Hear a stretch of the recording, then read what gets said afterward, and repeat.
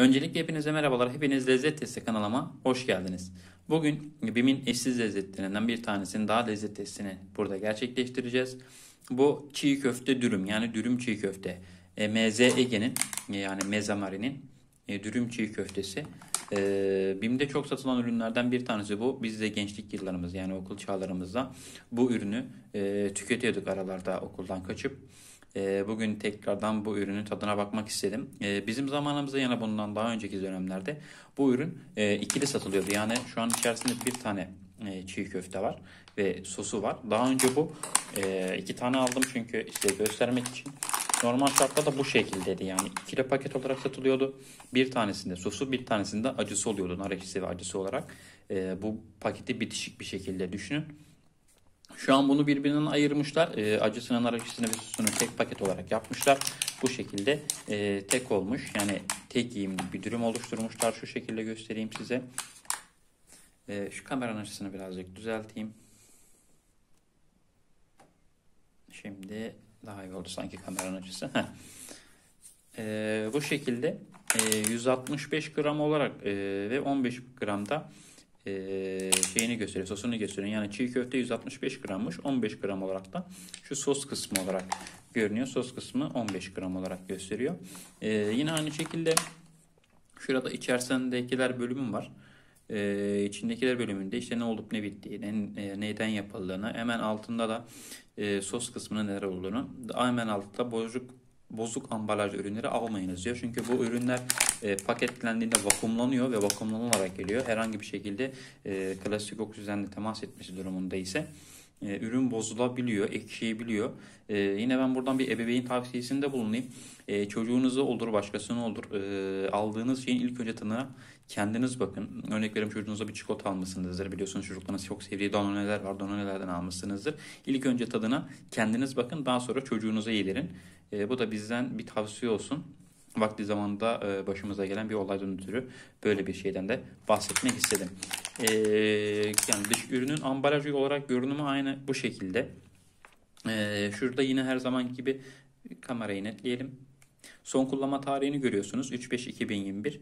E, parti numarası da yine aynı şekilde yazıyor. 0810 10 4-01 olarak görünüyor. Normal şartlarda bu parti numaralarında birçoğu ürünün üretim tarihine ve saatine e, tekabül alır.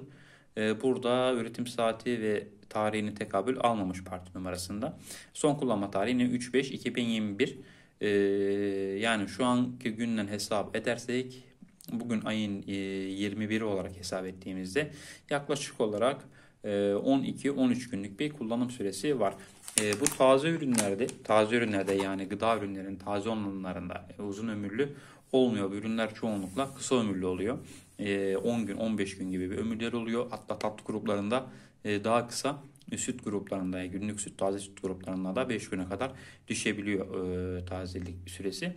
karşıda 2 adet tatlımız var. Bundan sonra bu 2 adet tatlımızın da tat testine bakacağız. daha önce yine aynı şekilde bu ürünler de aynı şekilde BİM'den daha önce sütlaç, e, profiterol, spankli gibi ürünler geliyordu. E, son zamanlarda Kıbrıs tatlısıyla kadife tatlısı da e, girmiş reyonlara. Ne kadardır var bilmiyorum. Uzun zamandır BİM'den alışveriş yapmıyorduk. Daha doğrusu yapıyordum ama e, tatlı bölümüne pek uğradığımız olmuyordu. Daha çoğunlukla ev alışverişi, gıda e, ve grup bakliyat alışverişini BİM'den yapıyorduk. E, yer yer 101 ve yine aynı şekilde şok marketlerden de bunu yapıyoruz. Bulunduğumuz yerde diyebilirsiniz yani niçin Migros Carrefour var buralara gitmiyorsunuz diye. Bulunduğumuz yer küçük bir yer olduğu için Migros Carrefour var. Evet ama biraz daha şehrin dış tarafında yerleşkede. E, bundan dolayı aracımız olmadığı için oralara gidip alışveriş yapamıyoruz. E, ancak aracımızın olması lazım ya da dolmuşa binip 10 dakika dolmuşla gitmemiz lazım falan filan yani çok e, şey olduğu için bir marketler 101 şok gibi marketler bizim daha e, çevremizde etrafımızda olduğu için buradan alışverişimizi gerçekleştiriyoruz. Nakit alışveriş yapacaksam çoğunlukla bakkala gidiyorum yani mahallemizdeki olan bakkala ama nakit alışveriş yapmayacaksam kredi kartı kullanacaksam bu durumda da 101 şok marketler e, alternatif olarak BİM gibi marketlerden alışverişimizi yapıyoruz. E, evet geçelim şimdi tat testimize. Kendimize bir tabak alalım. Şunun bir tanesini ortadan kaldıralım. Şöyle kenara koyalım. Ürünümüz burada. Ürünümüzü açalım arkadaşlar. Şurada ambalaj açma yeri var. Şu görmüş olduğunuz yerde. Hemen sosun üst tarafında kalıyor. Bir tane de alt tarafta olması gerekiyor şu. Bu ambalajı açmak için E, ambalaj açımı da çok kolay. Yani e, güzel vakumlanmış ama açılma şekli çok kolay. Şuradan tutarak çok rahat bir şekilde açabiliyoruz. Ee, şu an bunda streç göremiyorum. Daha önceki bahsetmiş olduğum ikili dürümlerde bu dürümler streçe sarılı bir şekilde oluyordu. Yani bu direkt elinizle temas etmiyordu. İlk önce streçini açmanız gerekiyordu ya da yiyeceğiniz bölümünü açarak işlem görmeniz gerekiyordu, yemeniz gerekiyordu. Lakin burada direkt e, ürünle temas halindesiniz. E, yani bir peçete falan bulundurmanız gerekebilir yanınızda. Aksi takdirde eğer eliniz kirliyse e, bu ürünü direkt yiyemezsiniz ya da şu plastiğini kullanmanız gerekebilir ki orası zaten şu görmüş olduğunuz bölümde sos bulaştığı için bu da pek mümkün olmayacaktır. E, burayı kaplayarım diye düşünebilirsiniz. Bu sefer de dış yüzeyle sozlu yüzeye denk geliyor. E, çok da sağlıklı olmayabilir. Yani eğer bu videoyu izlerlerse BİM'le alakalı, üretimle, pazarlamayla alakalı bir bölüm dediğim gibi bu ürünü e, biliyorum maliyet yükseliyor. Maliyet yükseltmesi de ürünün fiyatına etki ediyor. E, yalnız sağlık açısından ki korona dönemleri içerisinde bu ürünün streç ya da e, ne bileyim şeffaf bir e, birçok gün içerisinde biliyorsunuz çıkıyor artık e, kağıtlar çıkıyor.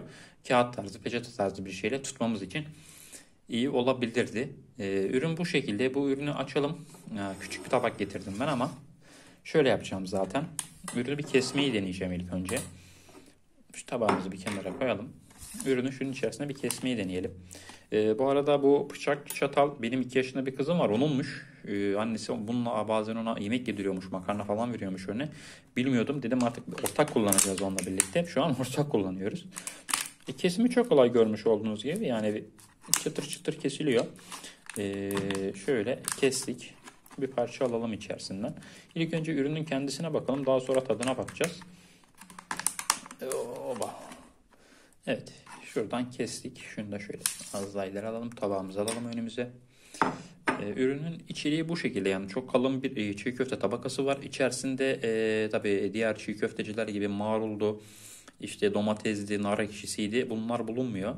E, lavaş olarak da şu şekilde göstereyim. E, yani tek kat, iki katman ama normal lavaşçılardan düşündüğünüzde bu tek katman olarak e, değerlendirebiliriz. Şöyle ince bir e, lavaşı var. Şu şekilde çiğ köfte. Dediğim gibi çiğ köftenin içerisinde gayet e, bonkör davranılmış çiğ köfte olarak. Çiğ köftesi gayet kocaman. Şöyle çatalla alayım göstermek istiyorum size. Şöyle kamerayı netleyelim. Şöyle kocaman bir çiğ köftesi var.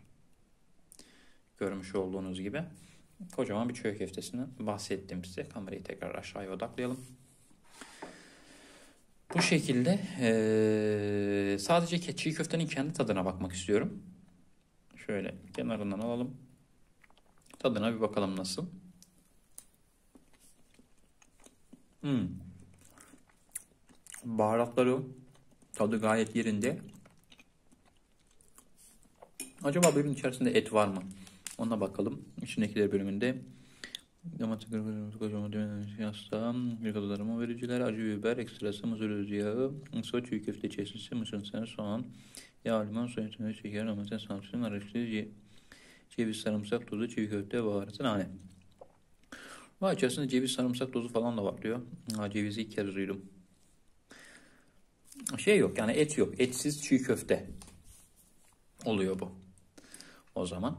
Ama tadı gayet güzel. O içerisinde baharatların içerisinde acı da var. Acıyı hissettim şimdi. Gel bakalım tadına. Anlamak amaçla. Gayet iyi. Sosundan bahsetmiştim şuradaki sosundan. Ee, sosunun tadına bakacağım. Böyle çatalın nozuyla hmm, çok mu acı? Ben acı kesinlikle yiyemiyorum. Sevmiyorum acıyı çünkü.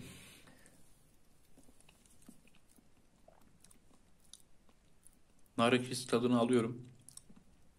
Acısı da aynı şekilde. içinde aynı dediğim gibi acısı da mevcut. Gayet e, aslında lezzetli. E, öğrencilerin bence vazgeçilmezlerinden biri olsa gerek. E, çünkü yani normal bir insan gidip de ben bir çiğ köfte dürüm alayım BİM'den demez diye düşünüyorum. Çoğunlukla öğrenci kısmına hitap eden bir ürün olarak e, görünüyor.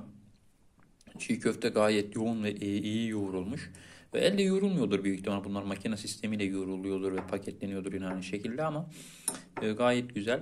E, şurada biliyorsunuz ki zaten dürüm çiğ köftenin şeyini emmiş yağını emmiş bir şekilde görünüyor. Ama gayet güzel, lezzetli, e, kendini yediren bir çiğ köfte.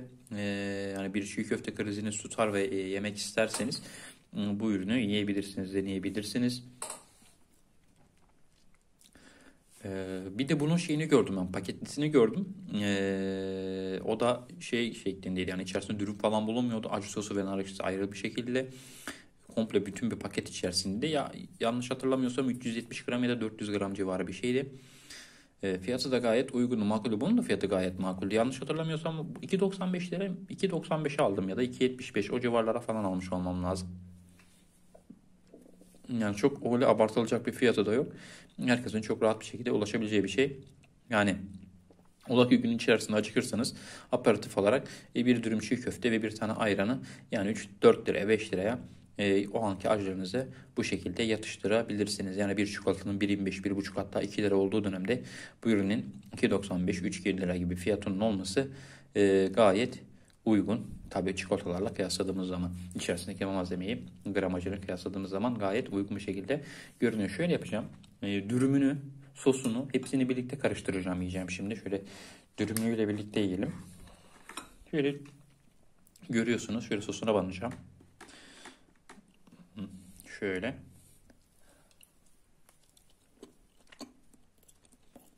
Hmm.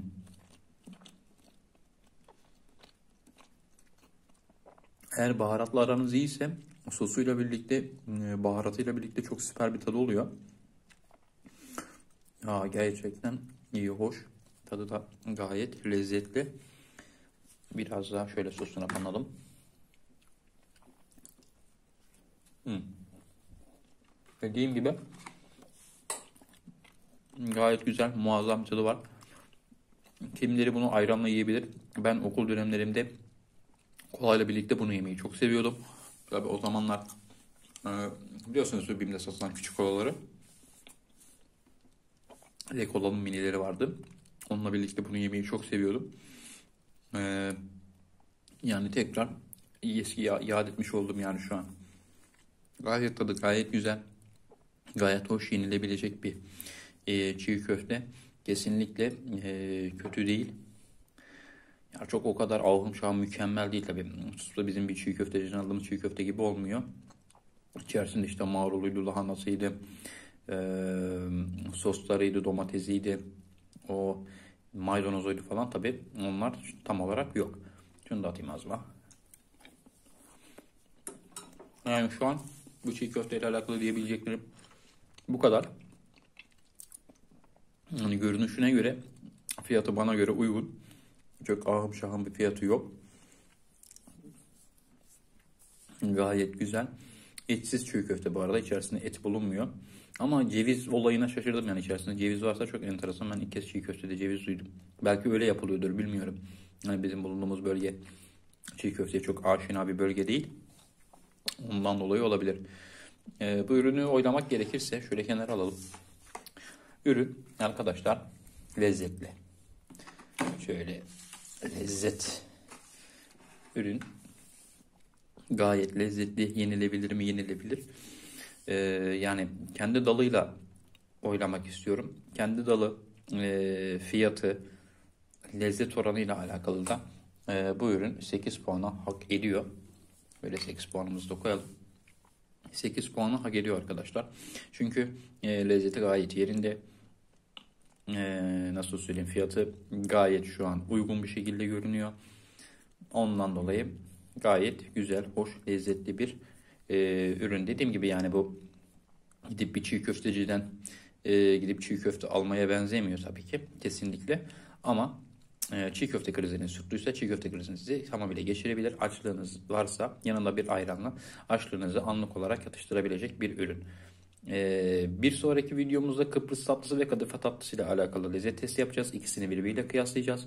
Hmm, dediğim gibi daha önce Spankleydi, Profiterollü, Sütlaçlı Kazandebiydi. Ee, bunları 101'de pardon BİM'de görmüştüm. 101'de de görmüştüm yine aynı şekilde. Ee, uzun zamandır tatlı bölümüne uğramadığım için Kıbrıs tatlısı ve kadife tatlısını görünce böyle şaşırdım. Ee, bir de onların tadına bakacağız. Ee, zaten bunları günlük olarak yiyen insanlar vardır. Tatlı krizi sütüne bu tatlılardan yiyen insanlar vardır. Ee, bir de burada tadına bakıp onaylayalım. Bu videoyu izliyorsanız eğer benim vermiş olduğum puanlarda eksik veya fazla görüyorsanız muhakkak yorumlarda belirtin. Aslında bunun hak ettiği puan şudur ya da şöyle olsa daha iyi olur diye e, düşünceleriniz varsa muhakkak bizimle paylaşın. Biz de bilelim arkadaşlar. E, bu konuda sizin yapmış olduğunuz yorumlar, eleştiriler tamamıyla bizim gelişmemiz için, bizim kanalımızı geliştirmemiz için bize yardımcı olacak. Bundan dolayı kendinizi kesinlikle e, sıkıntıya sokacakmış gibi düşünmeyin. Sizin yapmış olduğunuz her yorum bizim bir adım daha öne gidebilmemizin bir kapısıdır. Ondan dolayı derim ki kendinize çok iyi bakın. Ee, videomuzu buraya kadar izlediyseniz bize yorum yapmayı lütfen unutmayın arkadaşlar. Kendinize iyi bakın. Bay bay.